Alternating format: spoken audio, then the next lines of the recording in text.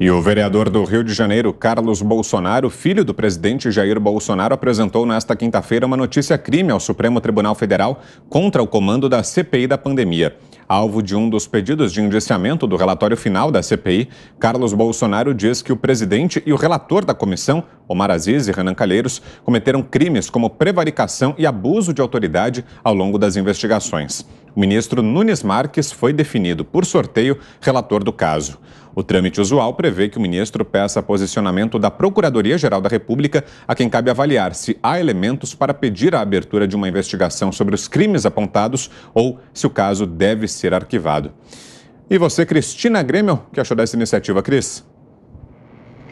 todo mundo que se sentiu de alguma forma atingido por abuso de autoridade cometido por aqueles, especialmente por aqueles sete senadores do G7, né? Teve alguns outros que nem eram componentes oficiais da, da CPI, que em alguns momentos participavam da sessão de forma muito abusiva também.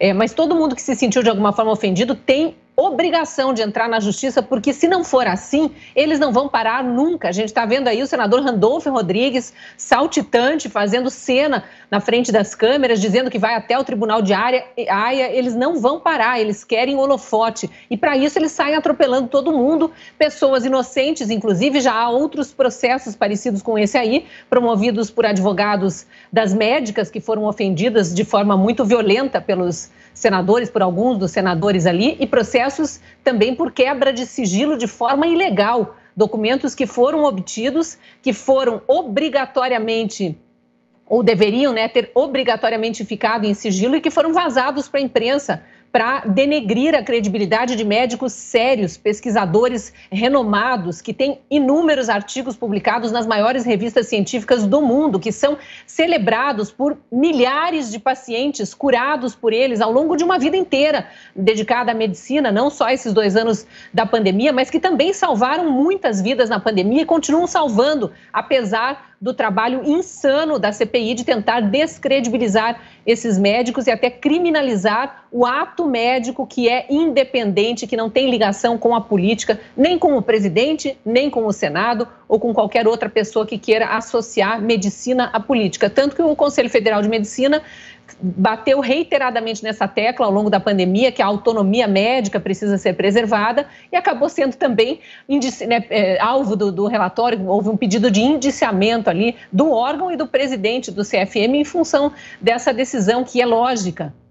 É lógica e é sensata. Quem decide sobre tratamento médico é o seu paciente com o seu médico. Nunca na história desse país, para usar um bordão aí bem comum, algum vizinho se preocupou com o remédio que a mãe dava para o seu filho por indicação médica, por que, que na pandemia, no meio de uma pandemia, ficou essa loucura de um querer controlar e perseguir o outro por causa da medicação que ele decidiu usar por indicação de seu médico? Ainda bem que tem médicos sérios que seguiram a autonomia médica e continuaram tratando seus pacientes à revelia de tudo isso que acontecia na política. E o vereador Carlos Bolsonaro, na, na condição de filho do presidente, obviamente que se sentiu é, muito incomodado também pela forma como o presidente foi tratado, uma forma irresponsável por parte da CPI, gritando genocida ao longo de meses aí, e depois nem incluindo isso no relatório. O Augusto, nosso relator da CPI da CPI, fez bem em dizer que o maior crime cometido pela CPI foi o de fake news, de chamar o presidente de genocida e depois, no relatório, chegar à conclusão que não, não houve genocídio.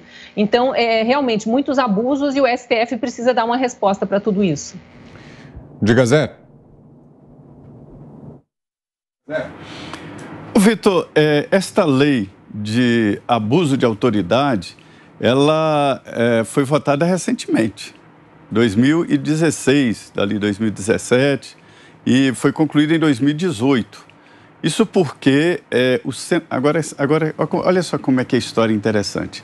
Existiam dois projetos de abuso de autoridade para complementar uma lei que já existia de 1965, a lei de abuso de autoridade.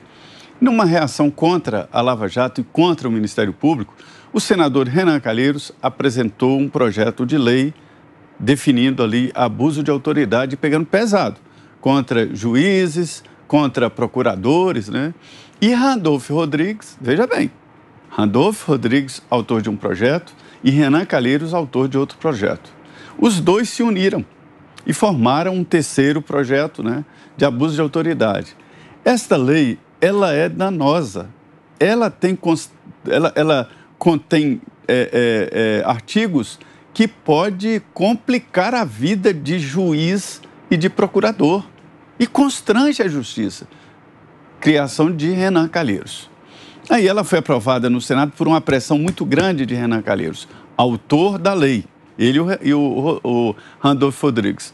Foi para a Câmara, foi aprovada e vetada pelo presidente Bolsonaro. Sabe o que aconteceu? O Congresso Nacional se reuniu e os vetos foram todos derrubados. A lei ficou rigorosa e muitos juízes reclamam. Olha, a situação não é fácil. É dar uma bobeira ali, o juiz pode ser punido. As sentenças ali é, são a vida de um juiz. A atividade de um juiz, ela é a vida dele. Um juiz não é um dia juiz, outro dia é outra coisa. Um juiz é para sempre. Então, esta lei de origem no Renan Calheiros será usada contra ele.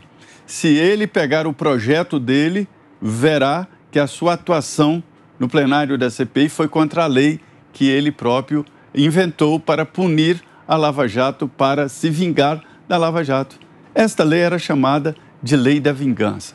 Pois bem, vem o vereador Carlos Bolsonaro, um perseguido por esse pessoal, perseguido por esse pessoal e tem essa ideia.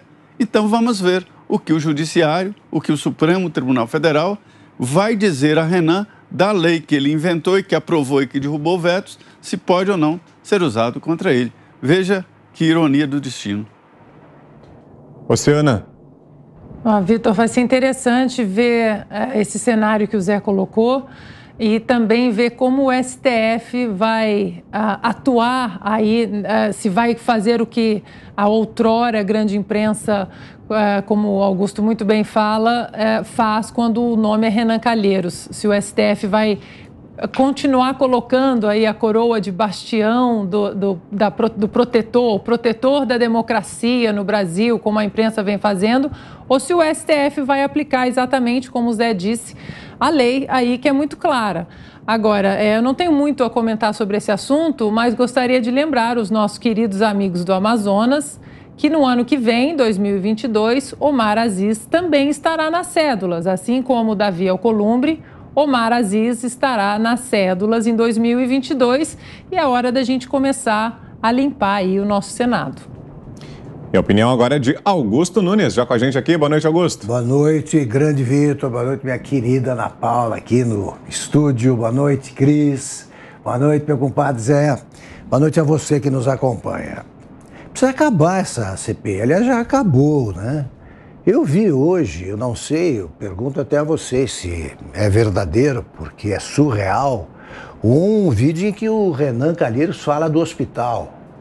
Chegaram a ver? Eu não vi. Não. Olha, eu de novo eu faço a ressalva. Espero que não seja verdadeiro aquilo, mas é o Renan falando o seguinte, que ele teve de extrair um tumor, está cuidando de um tumor porque é uma consequência dos trabalhos pela pátria que ele executa desde sempre e, sobretudo, é uma consequência direta das infâmias que ele vem sofrendo desde que virou relator da CPI. Então eu queria, eu, eu queria não acreditar nessa história. Queria não acreditar, mas é o que ele diz. Então o presidente genocida é responsável agora por espalhar doenças em quem trabalha pelo Brasil para tirá-lo do cargo e que ele ameaça o país. Chegamos a isso. Essa CPI virou uma piada desde o começo agora está se transformando numa piada de muito mau gosto. Né? E a resposta terá de vir nas eleições, é o que a Ana falou. Ó. Esse pessoal está fazendo todo esse barulho para conseguir algum cargo ou se manter no cargo. O eleitorado é que está com a palavra, né? Espero que seja um tremendo não. E só para registro, Augusto, o Renan Calheiros retirou um tumor no ano passado. Pode ser que seja desse momento então, o vídeo, então. Então, o Lula, se for desse momento, vale da mesma forma, porque é uma coisa inacreditável. Ele culpa, o, ele atribui a doença que ele tem... Aos trabalhos. Aos trabalhos que ele faz e às injustiças que sofre.